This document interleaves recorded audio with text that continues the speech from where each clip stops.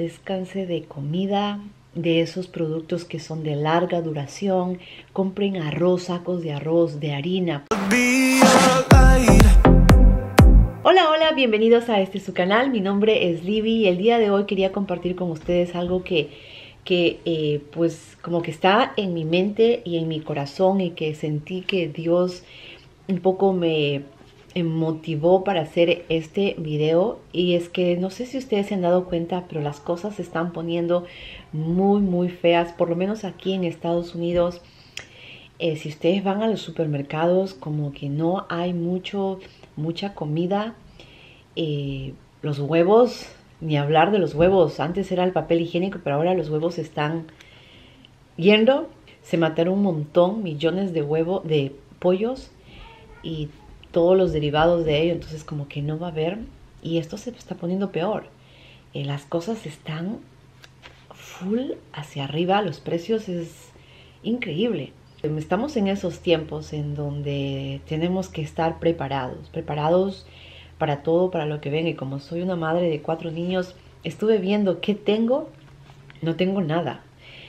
No tengo cosas que he estado guardando en mi despensa, solo son comidas de dos o tres días cuatro días posiblemente, máximo algunos productos que son de larga duración, no sé, meses, pero nada más. Tenemos que, creo yo en mi caso, que empezar a, guardar y a hacer nuestro estante de comida eh, a largo plazo, porque las cosas ahora están súper caras y encima dicen que no va a haber cosas hay eh, mucha información allá y no puedo hablar mucho de las cosas que están eh, pasando, pero creo que es el momento de prepararnos para lo que venga. Y en esta cosa que estuve de, de mucha preocupación y eso, justo toqué una palabra que yo quiero compartirlo contigo. Ustedes recuerdan la historia cuando Jesús camina sobre el agua y hay un eh, personaje muy, eh, bueno, un personaje divertido para mí que siempre eh, me encanta y es Pedro, donde él pues camina en el agua y va en dirección a Jesús, pero en un momento en donde el viento empieza a soplar, entonces él tiene miedo y empieza a hundirse y Jesús le dice, hombre de poca fe. Está en Mateo 14 del 22 al 34. Eh, Está ahí la historia, pero los dejo, pero me gustó mucho eh, el mensaje les voy a leer para eh, no poner nada de mi interpretación, sino que ustedes puedan entenderlo más. Dice, la fe de Pedro es fuerte mientras mantiene su atención fija en Jesús. Pero cuando se encuentra en medio del viento y de las olas, resulta más difícil concentrarse en Jesús. Cuando Pedro deja de mirar a Jesús, inmediatamente después ocurre el desastre. Ahora hace la pregunta, ¿tiene usted la impresión de que su, de su fe es fuerte hasta que se presentan problemas?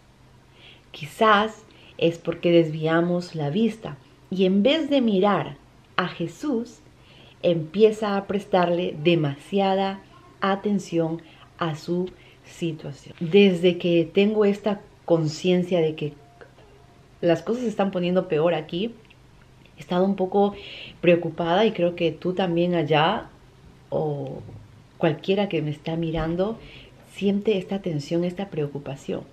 Pero aquí en la palabra nos dice que debemos fijar nuestra mirada en Jesús. Las cosas se van a dar como tienen que darse, porque también está escrito aquí en la Biblia, estas cosas tienen que pasar porque estamos más pronto a la llegada de nuestro Señor Jesús.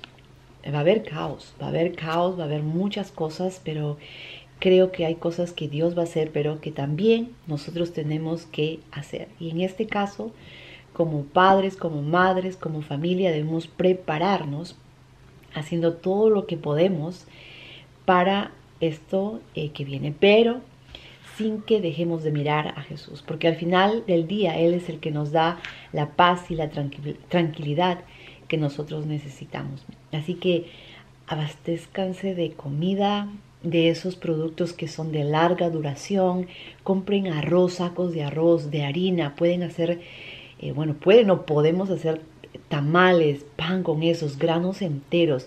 Cómprense eh, máquinas que puedan hacerlo eh, pues manual, nada de pilas, de chips, de cosas como así. Si has escuchado esto hasta el final, te animo para, para seguir adelante y haciendo un plan de todo esto que, que, va a pasar en algún momento. Así que todavía no es tarde, pero ya estamos en ese, en ese proceso. Así que eh, declaro bendición en tu vida, en tu familia, que Dios te dé la sabiduría, que Dios te guíe en este tiempo, en estas cosas que van a pasar y que el Espíritu Santo siempre pues esté en ti y te haga y te mueva para poder hacer eh, cosas y no cierres tus ojos a las cosas que están pasando.